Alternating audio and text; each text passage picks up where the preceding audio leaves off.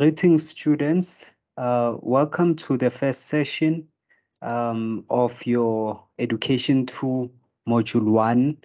Um, and the name of the module is known as Aims and Conceptions of Education. It forms part of uh, the Western philosophy fragment of your Education 2 component, or rather course for this year. I am Mr. Mbuisa. Uh, you can call me Prof or Mr. or just Mr. Mbuisa. I'm happy to be having you in the first symposium for the year um, and wishing you all the best as we cover the different facets of this amazing scholarly work um, in Western philosophy. Um, I hope we have watched the introductory video in the orientation module um, that seeks to introduce us to how we are going to be doing things in the course um, and the implementation of the flipped pedagogy approach from the institution. So with, without wasting any time, um, let's get to the contents of this week. Now, the first symposium is entitled The Nature of Philosophy an introduction to Western philosophy and philosophy of education. Now, it's very important for us to maybe think about the takeaway points um, that we want to sort of enact um, out of this session. And I just want us to look at that first in the session objectives. Now, by the end of the session, I expect you to at least know the following and to have um, thought about the following um, aspects. Now, the first thing is maybe looking at conceptually speaking, what is philosophy? Um, what does that mean? Um, so I want us to think about uh, a conceptual clarity into philosophy. So what is philosophy? What is not philosophy?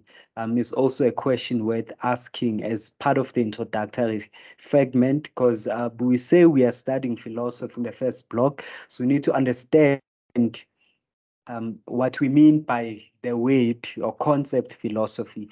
Um, then we're gonna be looking at the origins of Western philosophy, since we, we're not just studying philosophy, but we're looking at Western philosophy. So um, I want us to look at the origins of Western philosophy, um, the different sub-disciplines, sub-components, sub-fragments um, that form part of um, the field or the uh, the, the, broader uh, body of knowledge known as philosophy.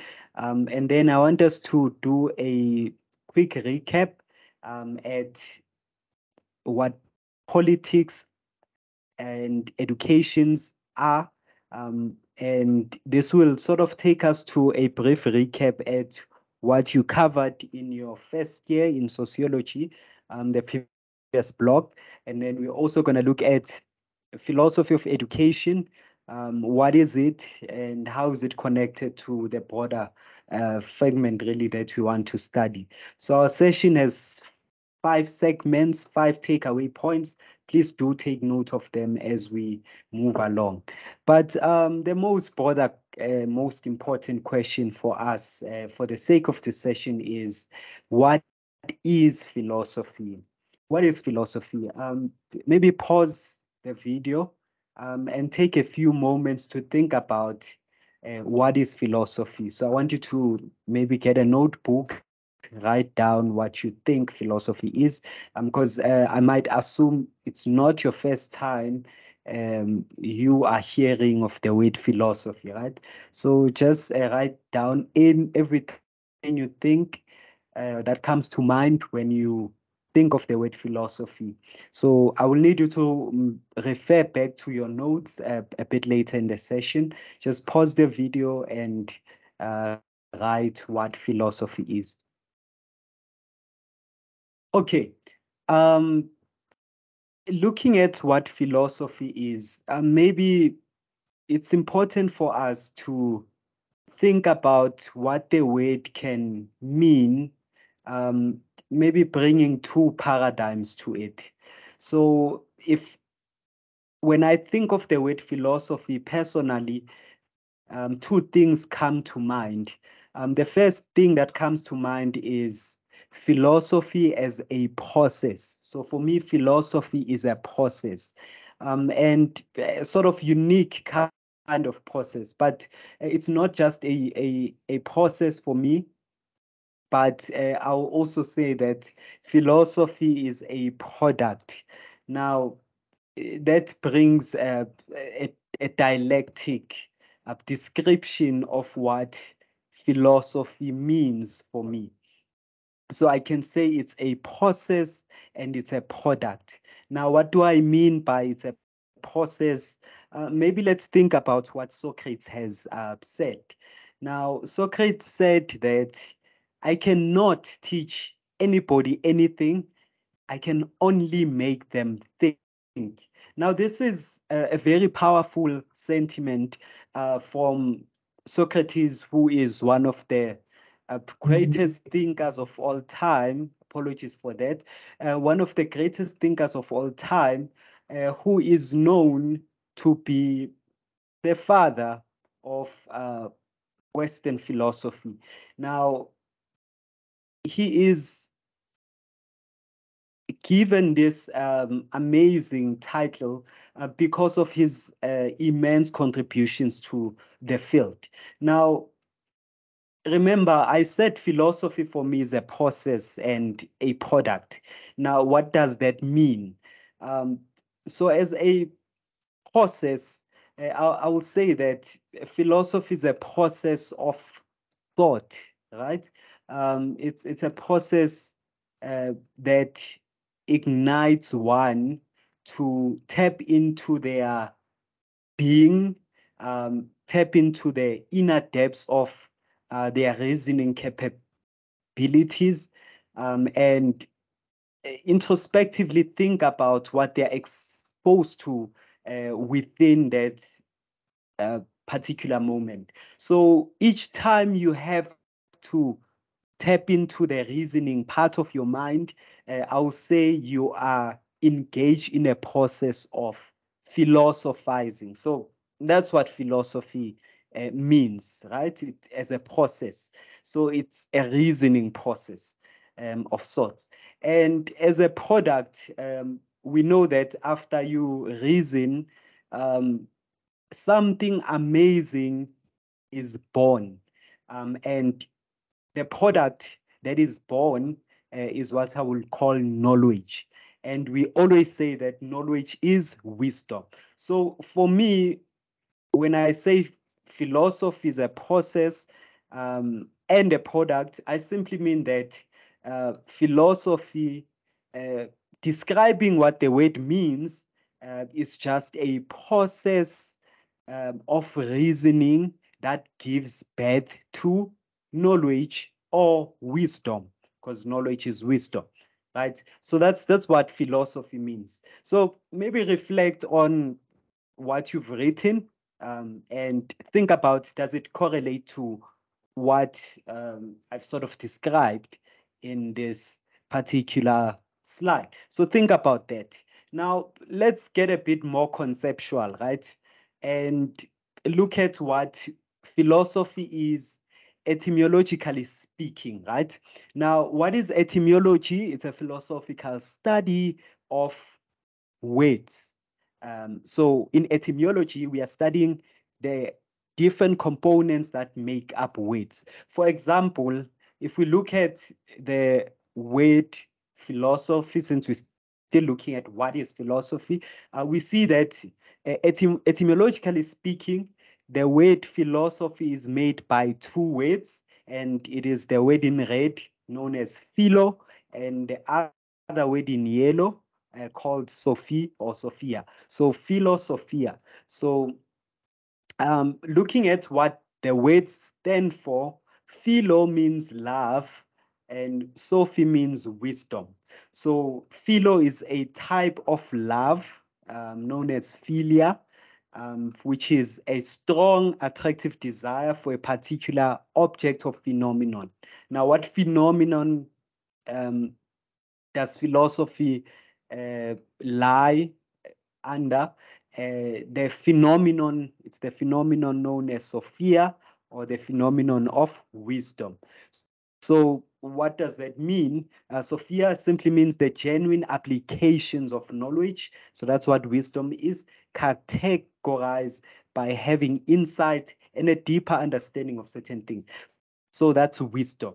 So having insight and deeper understandings connotes to your reasoning capabilities. So hence I said, when I think of the word philosophy, I think of a process, um, which is the process of showing this strong desire um, uh, for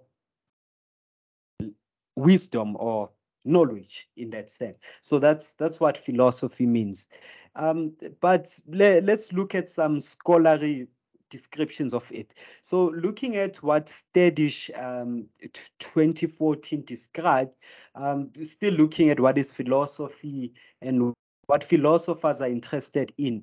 Um, we see that uh, Standish says that philosophers are basically in interested in uh, basic ideas or concepts uh, that may be inclusive of knowledge, understanding truth, goodness, um, and how they relate to each other. So philosophers are keenly interested in uh, the power of knowledge, uh, the power of ideology or ideas um, in relation or in correlation to each other uh, for the construction of meaning, right, uh, about different fragments of uh, society. But what's important to understand is maybe looking at what philosophy or what philosophers uh, do not put their interest in. So the first thing is that philosophy uh, does not involve doing experiments or collecting data empirical. So philosophy is not like science where we care about uh, research going uh, door to door or on the ground, experimenting and all of that. So it, it also doesn't involve um, exploring how we think and the assumptions lying behind our thinking uh, and becoming clear about the concepts we use. So it's it's it's not really leaned towards the linguistic side of things uh, or uh, really the the the tangible side of things. Uh, but rather it looks at concrete stuff. So it, it's concerned with the nature of knowledge, so the concreteness of things. Um, so it looks at the grounds for knowledge claims, the reasoning behind uh, what we assume uh, in knowledge frameworks. Uh, it's, it's also concerned with um, reasoning or justifications of our thoughts and opinions. Um, and it it's mostly important, uh, uh, um, what's this, it, laying towards an understanding of um, what value, questions of value, um, we can sort of look into. Um, so the purpose of philosophy really um, is concerned with bringing clarity to thought, so the reasoning uh, behind thought, uh, so that concepts are carefully analyzed and arguments uh, that are robust are created as a result. So that's that's what philosophers um, care about. So it's leaning towards the side of what uh, thought, rhetoric, um, and reasoning um, sort of bring out um, into the world, really, for understanding of uh, different fragments of the world, right? So that's that's what philosophy is, um, simply put. And we call all of this understanding wisdom and hence philosophy means um, the love of wisdom in that sense right? But where does philosophy originate? Maybe let's let's think about that. Um, there must have been a point in time where philosophy didn't exist. So let's let's see where it, it was born and uh, it's it's sort of uh, arose right? Um, Western philosophy um, has its foundations uh, in Greece, right? And this is because of a shift really in um, the nature of things in society at the time. Um, so before philosophy, uh, reasoning, wisdom uh, dominated, um, we had what we called um, the the Renaissance era, and the point of the Renaissance era, uh, it was really to sort of justify uh, the existence of the universe uh, using bounds of uh, religion, right? So that's where philosophy sort of comes from. So it, it goes back in time in the Middle Ages where people used to believe in the existence of a God and the existence of a God will justify um, how things were done, the, the, the kingship system, rulership systems that governed the world at the time. And uh, what we notice is that because the Middle Ages or the the age of um, in a way religious thought uh, gave birth to uh, subjugation of certain members of society and oppression or the misuse of power or the use of religion to justify um, uh, oppressive governance systems uh, we had the age of enlightenment coming through where people were saying, um, you know what, uh, because these people are using the existence of a being that we cannot even see, being a god, um, how can we maybe justify our existence outside the bounds of the of a god? So how about we move outside the bounds of um, metaphysical reasoning uh, to looking at tangible reality. And uh, that's how philosophy was born. So it, it was born uh, at a time where the empires were being destroyed, distorted, and uh, where city-states uh, were beginning to um, remove themselves or unentangle themselves from um, empires um, to avoid uh, rulership uh, under the divine command uh, or religious or metaphysical knowledge. So that's the age we call um, the age of enlightenment. Now, that's where Western philosophy sort of originates. Now, what is this age of enlightenment? Um, uh, this is a time where the French and Greeks uh, started asking themselves uh, burning questions uh, that seek to move them their reasoning outside the bounds of religion.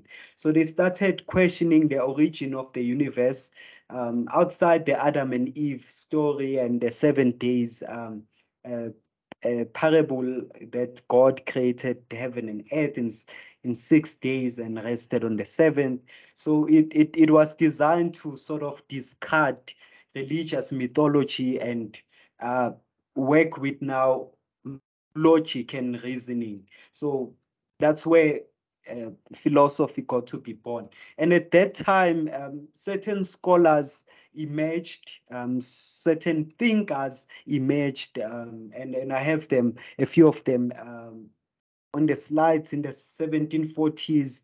Uh, we have people like John Locke, we, who we're going to explore later in the course. Um, Rousseau, um, who you guys will meet um, if you do history um, in your you've met rather if you did history one uh, in your social sciences one module. Um, we have people like Immanuel Kant, who, you will meet um, some of uh, his works um, as you complete your degree. Uh, you have people like Georges uh, Barton um, and Dennis um, as one of the major scholars uh, at the time. So the map below shows uh, certain affected uh, countries that uh, undertook this rise in um, the age of enlightenment.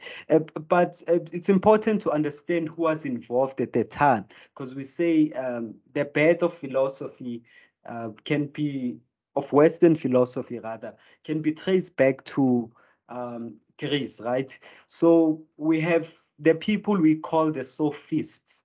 Um, now, sophists were Greeks who undertook this ideology of um, using radical or logic, radical reasoning or logic uh, to justify uh, reality and uh, human existence. So since uh, the birth of philosophy, uh, we started having the Greeks uh, taking this spirit of intellectual liberation, um, and they started sort of training themselves using this philosophy, um, and people became teachers, various fields, and um, a lot of self-improvement was uh, noticed at that time uh, amongst the sophists. Uh, so more and more people became educated in that sense, and uh, in a way, they became independent of the imperial system that existed at the time. Um, and we also see that um, these ideologies, uh, philosophical ideologies, uh, became very popular um, and were very concentrated in the Athens, right? Um, if you if you check, a lot of uh, great thinkers uh, originated from there at the time. Now, what they studied uh, when they were at school um, is what we will call um, rhetoric, right? So they were involved in rhetoric. Um, and rhetoric became uh, the norm of the day. Uh, so in modern terms, we can say rhetoric is a form of curriculum uh, that was used at the time, um, and it sort of uh, turned ordinary people to uh, the most radical um, and intellectually uh, sound individuals. So um, if you check what is mentioned here on the slides to say that, um, for example, the, the, the, the sophists who were the educators at the time um, taught rhetoric, which is the form of curriculum that was born um, at that time when philosophy came about. And um, this these sophists uh, promised to make uh, humble men, lowest people. Uh, remember that clergy, religious leaders were the most uh, were considered to be the most educated at the time.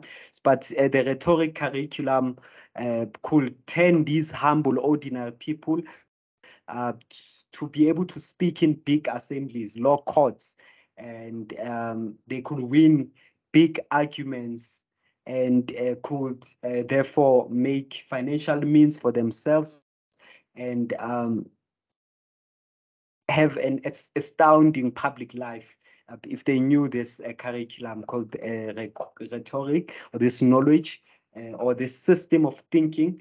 Um, and they also, the Sophists also offered to teach people how to meet, to win arguments uh, regardless of which side they take. So uh, right and wrong became an objective phenomenon um, or rather objectively subjective, uh, to say whether you take the opposing side uh, or the for side, uh, you of any argument, you will win either ways uh, because of the rhetoric. Um, and so the, the major argument at the time was to say that uh, no truth is universally valid. So good and evil, truth and falsehood were matters of individual judgment. So there were no universal um, standards. That's what rhetoric uh, uh, gave birth to. And uh, all of this happened in uh, what we will call um, the School of Athens, right? So the School of Athens is what is depicted on this um, slide. Uh, we have the greatest thinkers, greatest mathematicians. So this is the, the, the painting of uh, the famous school of Athens. We have uh, Socrates and Aristotle, uh, Plato and uh, the others. Uh, yeah, having form part of the school of Athens, right? So yeah, this is an iconic painting that shows some of the greatest thinkers um, that we've had in time, please go through and look at, uh, search on Google and look at an annotated uh, diagram of uh, this picture. uh, it may actually pop up as one of your assessments later on, right? Now, still on the sophists though, um, so sophists also attacked uh, religious uh, and moral values of uh, the Athenian society at the time. Um, some of them argued that religion was useless and others uh, said that uh, religion was as a result of human invention so it cannot uh, be acceptable a form of uh, reasoning in society. Um, and others even argued that law did not come from gods as the imperialist system uh, connoted. And um, also argued that there was uh, the laws that existed at the time uh, were were not based on objective or universal standards of justice and good, so they they can be questioned. So they argue that law was something made by powerful citizens for their own benefit, and they sort of bend it to benefit certain members of society uh, while excluding certain fragment, uh, a certain fragment of members of society. So that's uh, the argument that was made as well. Now, of course, uh, these arguments do not come without uh, implications. Uh, so the dangerous implication of this is that um, is to say that law did not need to be obeyed since it rested on a higher principle than uh, some people might have thought. Um, and the the major argument is to is to say that um, the implications that it led to a disruptive community life because it stressed the selfish uh, interests of the individual over the general welfare of the city. So when uh, these teachings started being spread, um, it sort of uh, was an attack to the social order of the time. Um, um, as new forms of thinkings were being introduced and new interpretations as a result. So a lot of people started rebelling uh, against uh, the systems that were put in place at the time. So uh, we we also note that some sophists attacked Athenian emphasis on moderation self-discipline. So um, in that sense, they argued that people should maximize pleasure and destroy traditions that restricted them. To say that people must live a life that is uh, free, so they, they, they are objectively liable, subjectively liable to their actions. Um, so that those are some of the arguments that they made at the time, uh, which became very problematic. So uh, in as much as the rise in philosophy, um, historically speaking, led to a lot of radical, amazing uh, liberal ideologies uh, that govern society, but it also led to a lot of uh, problematic uh, connotations associated with uh, that, uh, which uh, leads us to a famous person who was involved really in addressing that. So we look at um, Socrates. Now, who is Socrates? Um, Socrates employed an intellectual methodology that sophists had created to address questions. Uh, so she he employed the rhetoric system. Um, uh, and but he did it in a very different uh, manner, really. So historically speaking, where does this person come from? Uh, he lived between 469 399 BC. Uh, was born in a middle class family and began adult life as a stonemason uh, soon gave gave this up uh, to devote his life in philosophy, uh, where he was uh, really looking at um, the nature of human existence, which is what we call um, state, uh, what is ethics, um, uh, specifically virtue ethics. So he looked into the right way to conduct oneself in life. So this was uh, inspired by the nature of life at the time um, as a result of these sophist um, ideologies and the disruption society. So um, the argument that he made was to say that uh, sophists had taught skills but had no insight into the questions that really mattered. So they didn't answer questions such as, according to him, uh, what's the purpose of life? What are the values by which man should live? Uh, how does man perfect his character? And uh, he felt that sophists had attacked the old system of belief, but had not uh, really given a constructive replacement of the system. So this is where um, majority of his work uh, stems from.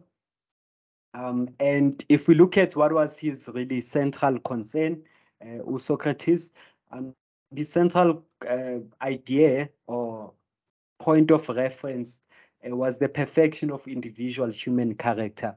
So he believed in three things really. The first one is that he believed in moral values uh, to say that they are attained when the individual um, regulated their life according to the objective standards um, that they arrive into after doing thorough um, rational uh, introspection and reflection.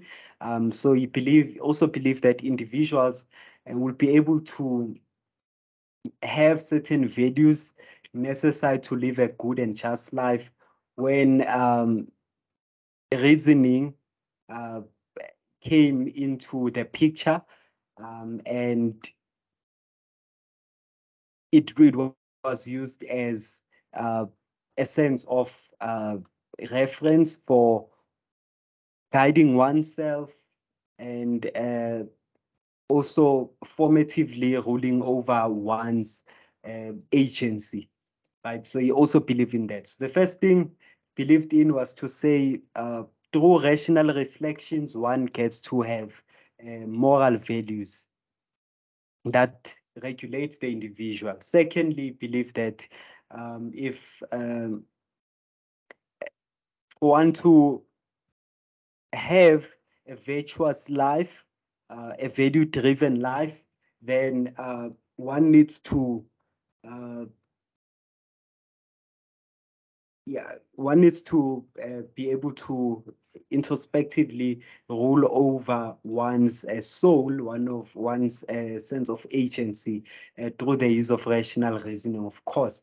Um, he also believed that true education meant uh, the shaping of character um, according to values discovered through the active and critical use of reasoning. So central idea behind Socrates' work was to say reasoning, introspecting, um, and uh, using uh, values to guide over one's uh, sense of agency was central to um, a life of virtue and uh, constructing a society that uh, is value driven, right? Um, so we see that he emphasizes on the power of reasoning um, in, in his thought. Um, so exploring those ideas even further, uh, then we then need to think about the power of reasoning according to Socrates, right? Um, so Socrates uh, firstly wanted to subject all human beliefs and behaviors to clear light of reason. And uh, so this was designed to remove uh, the pre-existing uh, subjugative systems uh, of authority, uh, tradition, dogma, superstition, and myth. Um, we also believe that for us to do that, reasoning was the only proper guide to the most critical problem of human existence. So the question of good and evil. So we can only judge what is good and bad so basically, uh, for us to establish ethics, uh, we we need to use reasoning. So that's uh, the power of reasoning, according to him. Um, and he taught that rational inquiry was uh, very important um, in order for one to test their opinions, weigh the merit of one's ideas, alter beliefs on the basis of knowledge and rationality. Um, he also believed that people uh, should uh, be engaged in critical self-examination um, in order to perfect their characters. Um, and he believed that um, opinions and traditions uh, can be formed based on um, clear conducts uh, or convictions uh, that one can rationally defend, right? So thinking about that,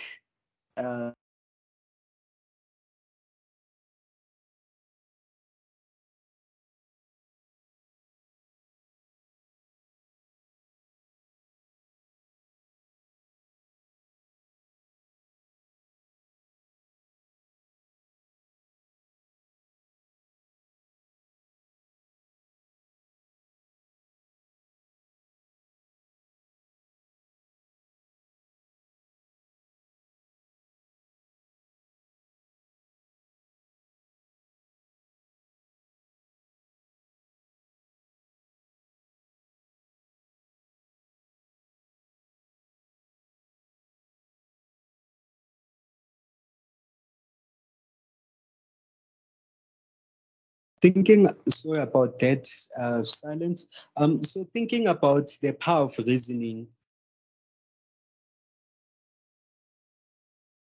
Apology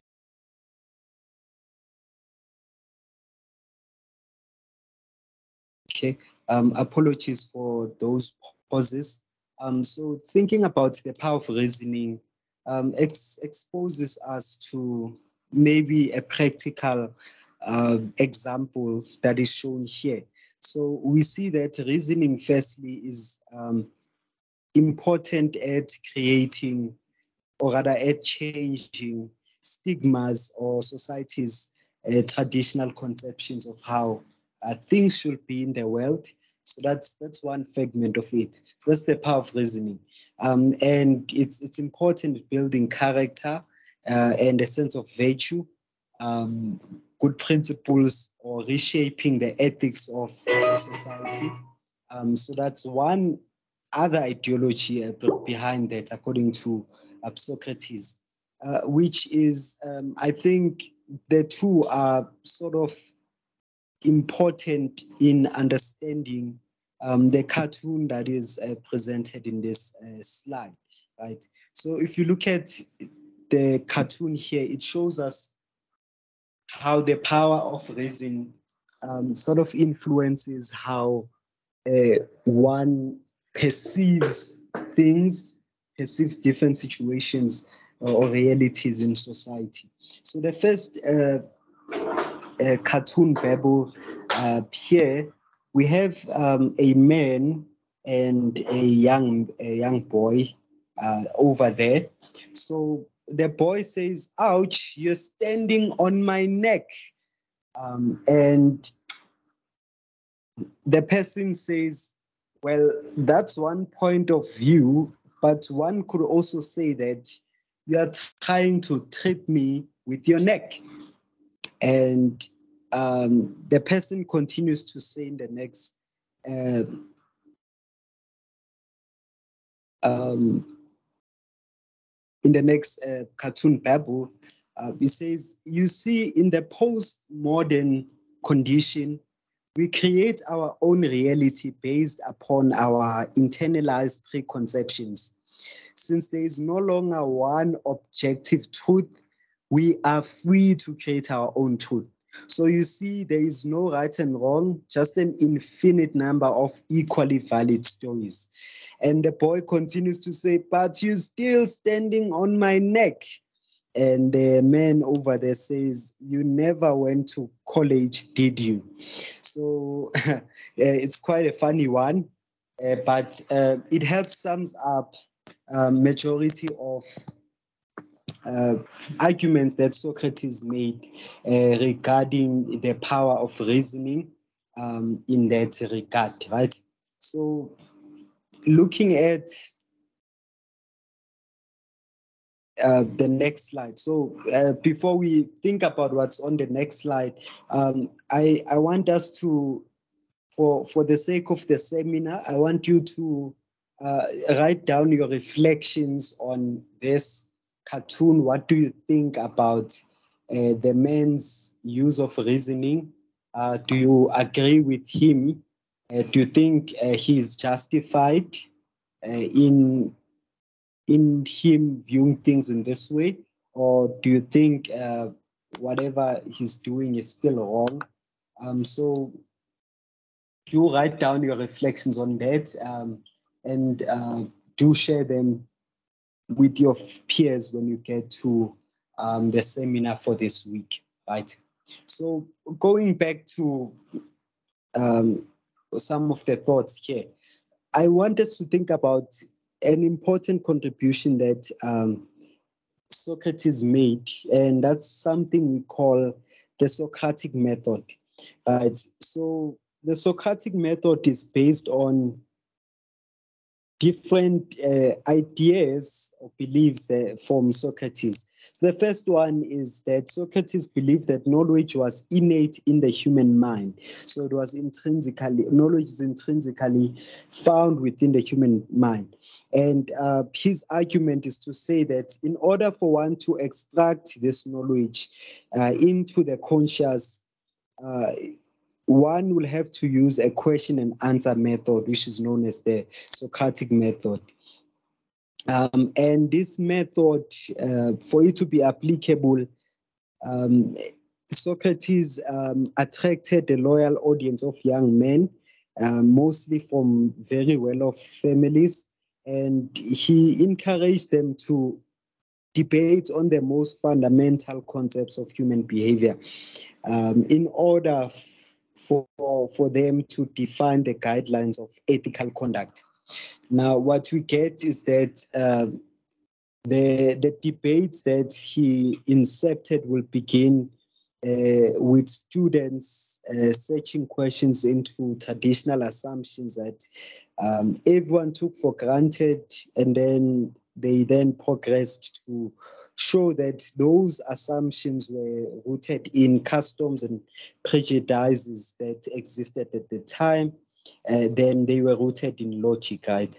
And this will then lead the students to having more questions uh, about these customs um, in order to, yeah, develop precise definitions uh, in into a category of concepts such as um, whether those belief systems were uh, of piety, were of justice, were they good or evil. So, um, in in that regard, in this uh, line of discourse, Socrates did not uh, develop set rules of how the engagement should go.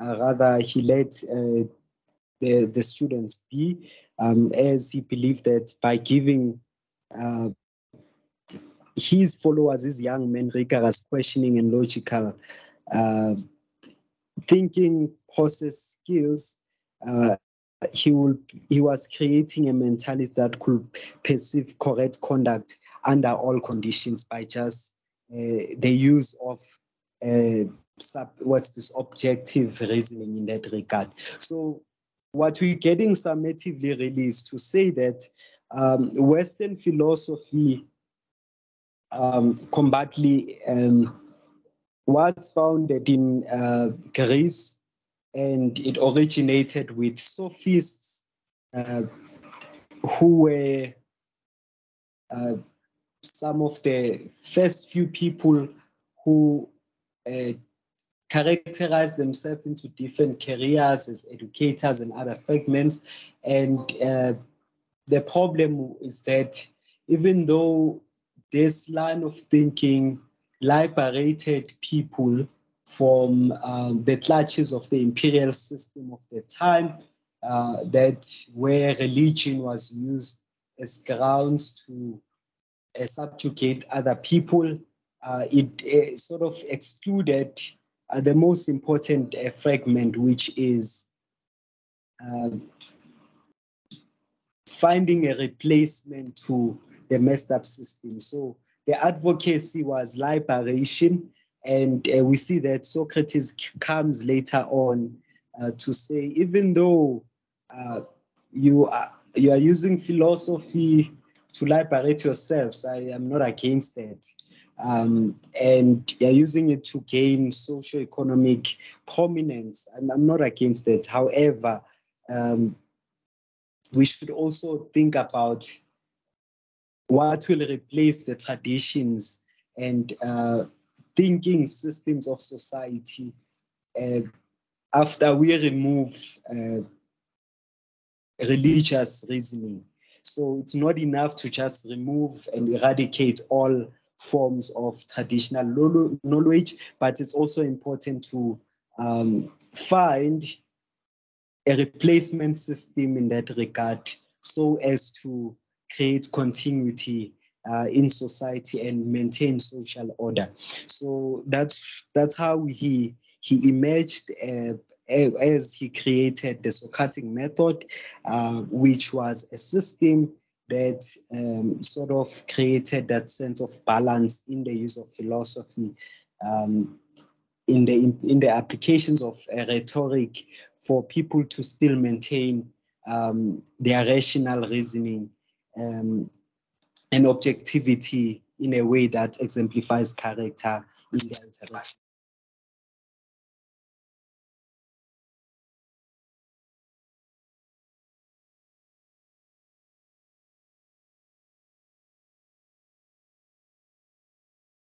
So that's that's really what we get from um, Socrates' uh, contributions to this amazing field of work.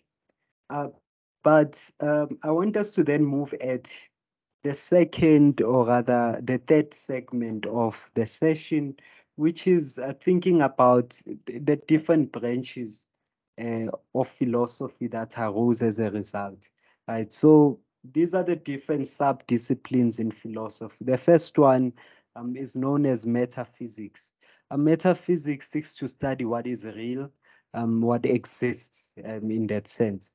Um, aesthetics concerns itself with the study of beauty, um, and it became a very major fragment of um, what characterized knowledge at some point in the world, uh, with arts forming part of that. Uh, we also have epistemology, which is the study of knowledge. We have ethics, which is the study of how we ought to live, so right and wrong, good and bad. Uh, we also have logic, the study of argument analysis. Uh, but what we are concerned about is the study of knowledge, epistemology.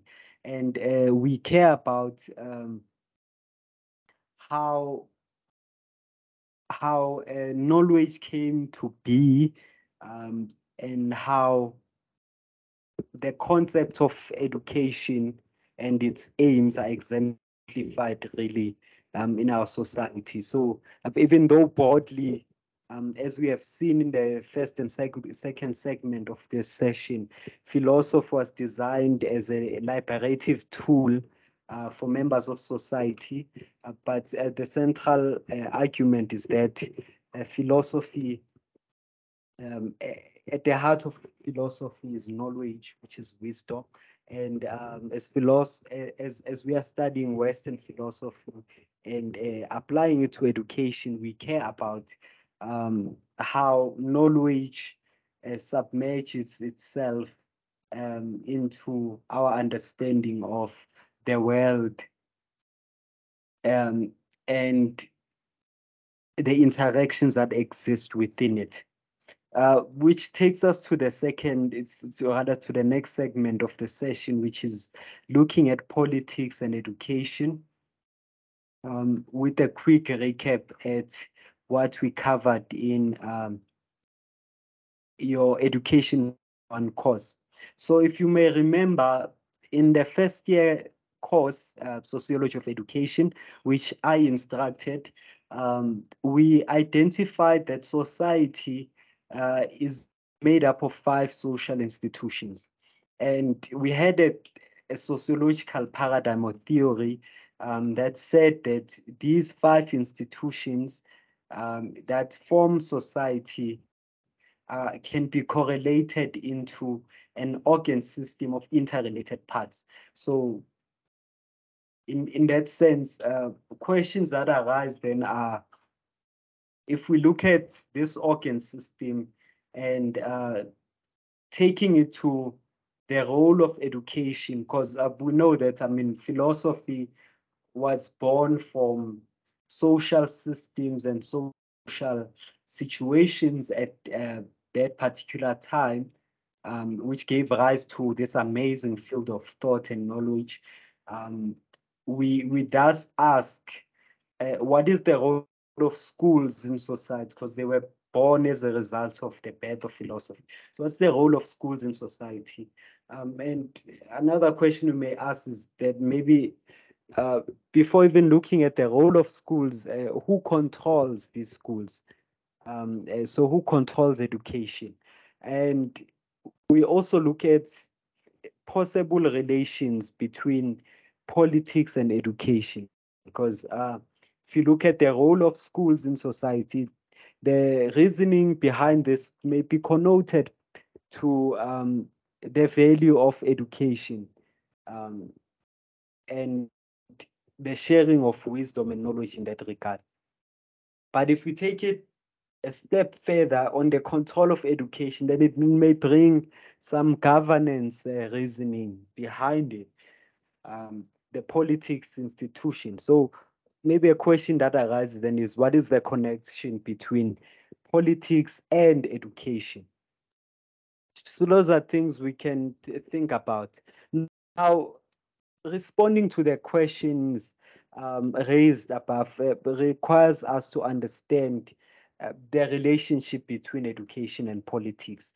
So if you look at the mini diagram here shown, uh, we see that uh, politics filters into education, education filters into uh, politics.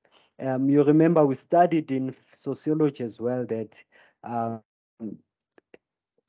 that uh, education uh, is important for society in that it leads to the allocations of roles in society. But we also know that uh, for the jurisdiction and uh, management of what happens in schools um, or what happens in the education institution, uh, politics are involved in that regard.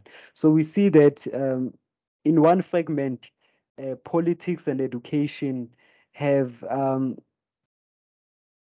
what we can call a symbiotic relationship, right? And uh, but we also note that the relationship between education and politics can also be argued to be very parasitic in nature. So what that means is that um, in the symbiosis, um, education leads to benefits in politics and politics leads to benefits in education. But in the parasitic relation, uh, it means only one institution benefits. And we see that majority of the time now is that uh, the politics uh, are the ones that tend to benefit more than the education institution. So the relationship uh, can also be tend to be very parasitic in um, in that regard right? So still on maybe looking at the symbiotic nature. So we, we know that uh, education and politics, uh, as I've mentioned, enjoy a, symbiotic relationship.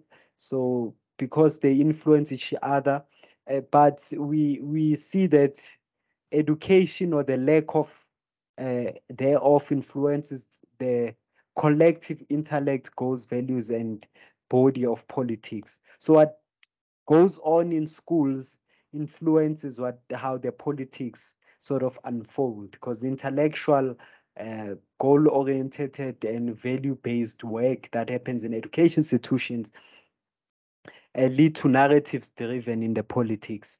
Um, so in that regard we can say that the way in which a society is educated will thus determine who is able to hold power or office in the politics institution, how those in power elected or chosen. So the systems that go into that come from the education institution.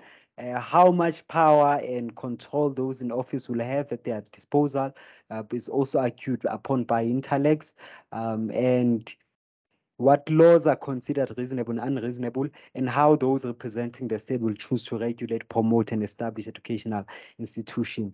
So we see that um, the centerpiece in the symbiosis nature of uh, politics and education, there exists that relation. It's important to always remember as we go into aims and conceptions of education, because we ask the question, who controls education? And it's important to think about the relations between politics and education uh, when we think about that fragment of things. But also looking at the toxic, parasitic, oppressive nature of two, uh, we, we see that um, even though the last point is critical as it shows the cycle uh, becoming a full circle between education and uh, politics, uh, we we note that uh, just as much as education institutions have a role in creating, maintaining, and limiting the state, but the, the political uh, fragment has immense power over the edu educational fragment. So we can think about how modern states uh, have control over how much schools are funded, what they can and can't teach. So we can think of fragments such as they dictate whether we study uh, religious knowledge or evolution, sexual education or the restriction thereof, uh, the way in which history is framed, um, among other things, really, or the glorification of white supremacy or the glorification of a black subjugation or vice versa. So we see the, the power uh, that politics may have on over education and the oppressive nature. So um, in that sense, we we've even noted that um, some states strictly prohibit, prohibit uh, secular education as it is in their interest to keep their population misinformed. So some members of uh, political fragments restrict their society from learning anything whatsoever. And this is precisely because the more informed or educated their population becomes, the more likely it is their stronghold on power will be overthrown. So to safeguard the power they hold and to have these oppressive systems, um, education is weaponized in that regard, um, which is then important to look into uh, the depths of education. So and the depths of knowledge in that sense to say um, it's not enough to know philosophy or to love this wisdom or to correlate ourselves with this wisdom. Uh, but it's, it's important to also understand um, the complexities that exist within uh, this framework of wisdom, which takes us to the next segment of the session, which uh, looks at philosophy of education. Now, what is philosophy of education? Um, now, looking at uh, this descriptively, uh, we define philosophy of education um, as a branch of philosophy that addresses philosophical questions uh, concerning um, the nature, aims, and problems of education. So this is concerned with um, power dynamics that exist, politics in relation to education. So again, uh, we question the, the nature of education, uh, the value um, paradox that exists with looking at education. So we also say that this branch um, of philosophy examines the goals and forms methods and meaning of education, right? Um, and we also say philosophy of education is a branch of applied or practical philosophy. So it brings this wisdom to life, a concern with the nature um, or and most important, the aims of education. So what is education for? And the philosophical problems arising from educational theory and practices. Who who controls problems such as who controls education, uh, what gives them rights to control education, um, what is their priority as they control it. So we examine such um, uh, problems that exist in education. And we use different forms of philosophical inquiry um, in education uh, for us to achieve this. So we use conceptual inquiry, uh, which uh, seeks to find our understanding of um, the use of words, concepts within the field of um, education. Um, so we understand what it means, what is it in its nature. We also look at the descriptive empirical nature of uh, education. So we do descriptive empirical inquiry where we question um, how. So how is education used um, in that sense, right? So the conceptual is the what, what is it? Uh, descriptive is the how, how is it uh, used? How is it descriptively um, uh, deemed to be? Um, and we also have analytical inquiry. So with the analytical, we look at um, pros and cons really, uh, to the extent at which uh, the the the the what education is supposed to do is achieved um, in that sense. Um, so we we try and think about uh, the the who really, an analysis of who controls education, who, um, what uh, framework do they use to control it, um, and uh, the sense of power dynamics that exist within the fraternities of education. Um, we also think about the normative inquiry, which looks at the the the why. Um, so in this fragment, we look at uh, the how. So the why and the how and possible uh, applicabilities and adaptations that need to be made um, in our inquiry into an understanding of education, right? So looking at philosophy of education um, and the course itself, aims and conceptions of education, um, we ask the burning question, what role, what is the role of school in society? So what is school for? Which is uh, a question that um, a lot of us have asked ourselves uh, growing up at some point. So we ask, what is education for? Uh, what is school for? Uh, and is education and school the same thing?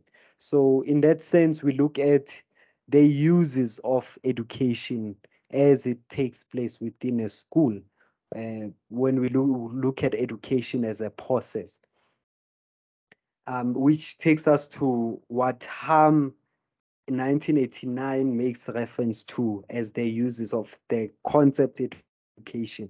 So it says um, education, uh, or rather the role of school in society in a philosophical sense can be deemed to be uh, firstly for uh, the sociological use, so societal benefit. Uh, secondly, the institutional use, which is uh, for the sake of institutions of society uh, and general enlightenment use. Um, and it's important to think about uh, the, the, the different shapes uh, and sizes of these shapes in the use of education. So firstly, the sociological use, institutional use, general enlightenment use. So those are the three uses of education, education one, education two, and education three, um, according to Hamm. And um, what you may ask yourself then is, which, if you deem education to be a process and a product, or a product, um, when you look at the sociological use, does it exemplify um, education more as a product or more as a process. Um, so where does the value lie? Um, in the institutional use, where does the value uh, lie as well? Uh, is it in education being a product uh, for institutions or a process that happens in these institutions? And in the general enlightenment use, also where the priorities lie, is it in the process or the product or both, if that's even an, an option? So those are different conceptions that um, I want you to think about uh, as you go and uh, engage with this week's readings and as you go and uh, prepare for your symposiums so for your seminars with your instructors in that uh, regard for this week. Um, this is a list of uh, references that were used uh, in preparation for today's session. Uh, please do uh, check these out. Uh, some of the readings are prescribed as part of uh, this week's reading work. Uh, please do check it out at your own time. This marks the end of this week's uh, symposium. Thank you very much for attending. Uh, please do engage with the prescribed readings for this week. And after doing the prescribed readings, please do look at your prescribed seminar questions. Uh, do go to class on time. Uh, your fellows, your academic fellows will be waiting for you in the designated venues um, as per the announcement or the arrangements for the week. Uh, looking forward to uh, hearing the amazing feedback from your fellows on how the sessions were carried out uh, for this week. Uh, please do send me, drop an email to me uh, if you have any content related questions, if you have fragments of the session that you did not understand and you'd, you'd like to have more clarity on, um, I'll be happy to respond to um, any of your inquiries. Um, and do read all your prescribed readings and uh, also do check out your recommended readings. So uh, let's just take note of the distinction. Prescribed readings are compulsory to do, uh, and your recommended readings are the ones that you can check out uh, to support responding to your seminar questions and uh, they also support rigorous understanding of or in-depth understanding of uh, the symposium, uh, the prescribed seminar questions. All the best uh, with the rest of the week. Um, looking forward to the next symposium. Thank you very much. Take care. Be safe. Bye bye.